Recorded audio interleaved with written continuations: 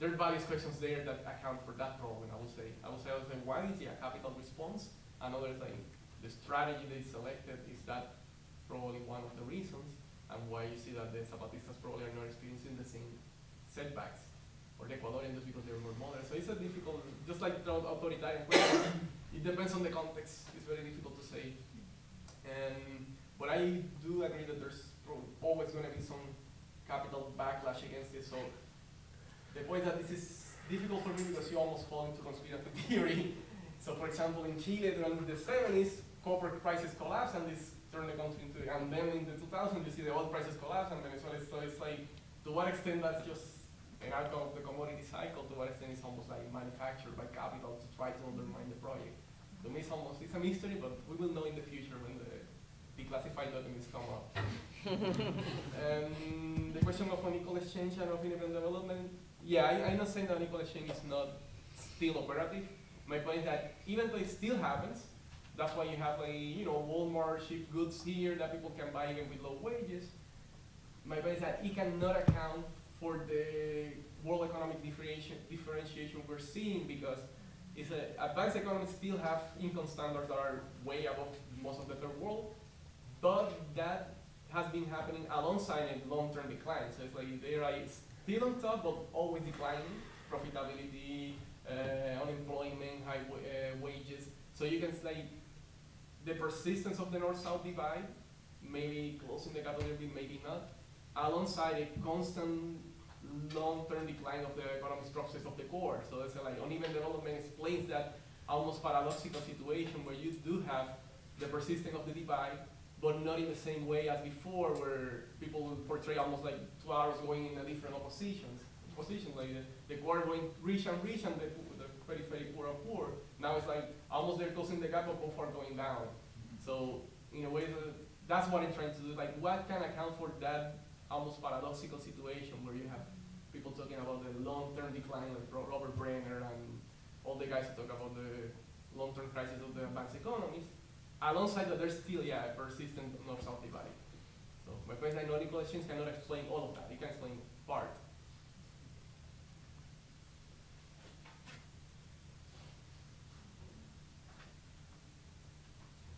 Yes, just picking up on, because I also found very interesting your presentation, Roberto, because I think it's a very like important project to rethink or question, you know, like these, like almost commonsensical assumptions are core periphery, unequal exchange, uh, and dependency and so forth. And what, what, what, I wanted to ask you, and you know, like picking up on Luis's question, is you know, like in terms of you know, like what does this mean for you know, like political strategy mm-hmm. and, and you know, like idioms of political resistance in Latin America specifically, has forged itself like political mm -hmm. resistance in Latin America has been forged through an idea of anti-imperialism. So. Mm -hmm right? So, so does this mean, as some authors claim, that you know, like imperialism is ideology? I mean, that, that it does not exist, and that we should, you know, like be more concerned towards, you know, like abolishing the wage system, or you know, like is is the anti-imperialist struggle like continue to be a relevant, uh, you know, like political strategy, or is it, you know, like a debilitating? I, I would like to know your take on it. Yeah. As you can see, I never mentioned the word, the word imperialism, because I think it's still a operative. It's a different category itself. But on uneven development, the way they describe it, you could see it as a new manifestation of the imperialism that Lenin talked about. He talk about like when economies in the advanced world reach some kind of like saturation of their markets, they export capital. So this new uneven development you can see as almost like a 21st century version of that in different ways, but it's still imperialist. So I never, I didn't say the word because sometimes people associate it with unequal exchange or with the other, but I think it's still important. My concern with the left win strategy against that is like, it's difficult because granted all this is happening, you might agree or not, mm, for me the question is that it does not necessarily follow that if you take over the state and implement controls, everything will get better. It might get better in the long run, but in the short run, it might get really bad. So you might go for a curve where it's like getting really bad and then get better, or you might do it different. So it's, the question of strategy to me remains open. My point is I cannot derive from what I said almost like a program. I can say like some things I know that doesn't work, but it's yeah, it's almost impossible to say what will work. It depends on like correlation of forces, how big the mass movement really is, what are the goals. So it depends on so many things. One thing would say, you know, there's no there's no automatic mechanisms. There's no like capital controls that will solve this. There's no like uh, exchange, uh, currency exchange regime that will solve this. It's like those are mechanisms that might work if you have the political power, or they just open the door for corruption and manipulation if you have if you have a very weak state. So it depends on many other things that I I cannot basically derive from this very abstract model. I can explain what are the problems, the solutions. They have to be constructed like depending on the context.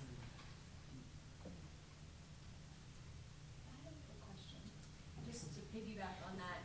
You didn't mention two thousand seven, two thousand eight as a potential turning point, and there are some of a return or a reinvigorated, for instance, import substitution, industrialization never went away. Um, there's some efforts to rejuvenate particularly stronger states.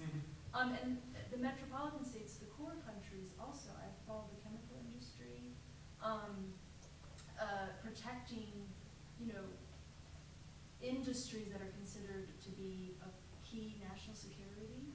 They're, um, flexing their muscle, you know, state Mhm. power a little bit more. So I wonder if that has to do with your, how you could incorporate that into that model of declining living Mhm. standards and, um, this potential return to economic nationalism. The point is like, it's too early to say what are gonna be the long-term consequences of that. It might, because as you implicitly said, like the core states have more geopolitical power to really implement capital control, so my, like depends where you are in the global system. But I don't know, like, for example, it seems that that was the US supposedly trying to do, but point like, what is rhetoric, what is real, but economic nationalism in this context, it will be, for me, it's like buying a short period of time. It's like it's buying credit for a couple of years. I don't know if it will be a long-term solution, but I'm, you know, it's too early. My point is like it's too early to say. I don't know enough about the chemical industry itself to even say a little bit about that. Uh, Quickly, because I know we're running low on time, uh, amazing papers all. Ericka, is this a story of what happens to ruling classes when they get delinked from their historical, sort of agro-geographical or productive foundations? I mean, you tell this extraordinary story of Salvador, uh, of Salvadoran ruling classes, really one of madness and this perverse, I mean, it's so perverse, it's so absurd, it's, it's death is nothing. And of course, anyone familiar with the story of the Salvadoran specifics, yes. I'm just wondering if there's, is there a deeper pathology to ruling classes as they? Yeah. And what does that tell us about the future? I mean, we we're talking about green capitalism earlier, but this seems much, a much more likely outcome of a just, you know, fiddling while Rome burns times a thousand. And then Alejandro, uh, this is a magnificent paper as well. Um, a lot of times when I give versions of the end of cheap nature talk, radical audiences, they're like, no, capitalism is resilient. Capitalism can survive. Look, and with the question of water, I mean, we see this in Mexico, all over the place in Mexico. We see this in the American Southwest. We see this in California. I mean, California's out of water. Uh, you know, the, the, one of the centers of cash crop agriculture in the world is out of water. You know, they're digging, digging those holes down another 10, 20, 30 feet single year. Um, this, this suggests something to me powerful that suggests the end of cheap water, climate change, nexus around capitalism's resilience that is powerful and suggests maybe not so resilient after all. Oh, yeah. Is this a story about the pathology of ruling classes? Absolutely, right? And, and just, I mean, to go back just a second, you know, why is this, this delinkage from landowning classes? In Latin American literature from the 19th century onward can be read, I think, productively as a, you know, uh, a literature about precisely these kinds of transitions. The interesting thing is, is precisely in the ISI period, you have these landowners, they become industrialists, right? That's no longer a possibility.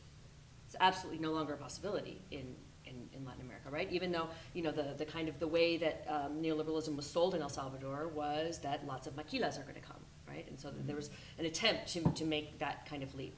Um, but it just, it didn't happen, right? So what is there? What is at hand? It's the financial sector, right? But, and, and, you know, is this a vision of, I think you were kind of getting at, is this what is in store, right? Is the future, is this the It's story of the American future. ruling class? I think so, yeah. Where, in- you know, and it's a different oligarchy. It's not a landowning oligarchy. It's not, you know, coffee families. It's, you know, real estate tycoons and their ilk, right? Um, so, yeah, I think unfortunately, yes. Um, well, yes, um, I'm, I'm glad you asked that because I had a whole section on that, but I couldn't get to it, so that's why I finished a bit early. But yeah, I think um, there's there's um, the same problem in Mexico City. I'm going to frame it first within within Mexico City, and then I'll try to make something a bit more uh, structural about it. So in in Lerma, which was built in the 50s, and the wells are now drying up. Uh, sometimes people hit mud when they are trying to drill a hole, so it's it's almost depleted. Um, then in the 70s, they built the Cutzamala, which is a larger system that's further to the south. And they've been trying to build, um, so it has three stages of, like, first one dam, then two, and then trying to build a fourth. Um, there's a huge opposition from indigenous communities that are associated with the Zapatista movement. So I was thinking about that when you were saying that. Um, and and uh, so here you have two different kind of uh, limits to this strategy of cheap nature. One is the fact that water is being depleted. The other one is the fact that um, these other natures, like human natures, are now rebelling ag- against the states in particular, but also capital, uh, capital under the guise of the state, let's say. Um, and then there's, there are all, all these dreams that engineers in the Mexico City water system have about where they're going to get water from. Uh, one of them is building huge wells into the ground, so now we have two kilometers down, uh, and there's water there, but we have no pumps to actually get it out. So it's there, and we think it's, well, they think it's really polluted because it's been there for thousands of years. Uh, they don't know what's in there. So um, that's one dre- dream. The other one is to bring water from Veracruz, which is to the west, to the east, I mean. And it's, uh, it's really higher up Mexico City, so pumping it up, it's, it's too expensive. And the state now uh, is unable to make these huge investments as it was before because of the transition of the 80s and the new state we had, which is still very repressive, but it's not geared towards internal debt or those kinds of things. And then the other one, the other, I say, a capitalist dream is to turn Mexico City into, so as you know, I'm sure you know, it used to be a set of five different lakes, Mexico City, before the Spaniards uh, conquered it. So it was two sweet lakes, uh, sweet water lakes, and then three uh, salt water lakes. Anyway, um, fresh water, I'm sorry. Uh, so they're trying to say we can rebuild this project and we will finance it by selling real estate. Uh, and these huge new apartments will pop out on the, on the lake, uh, on the sides of the lake.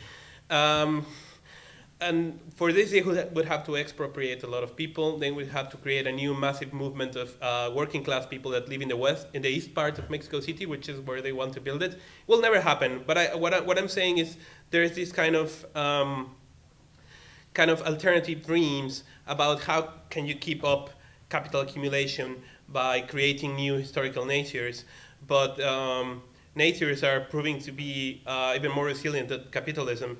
So uh, I think we are facing in Mexico City at least, uh, and I, I, think in other places like California or even other places in Mexico like Oaxaca or Yucatan are facing uh, a real, uh, it's going to be a clash very soon between the um, limits of this ideology and practice of capitalist progress and the political, organized political alternatives like Zapatismo and all that, but then also to uh, the, the, the, very material limits of what can be exploited.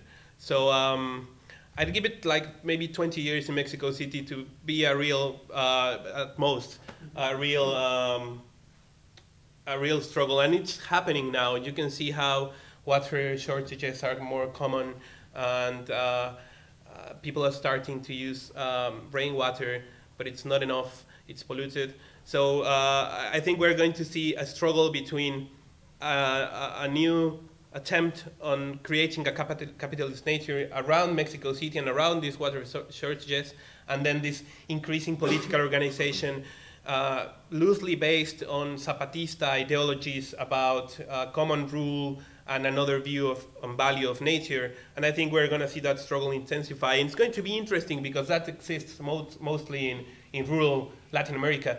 But I think it's going to be interesting to see how it plays out in, in urban uh, Latin America, urban Latin America, yes.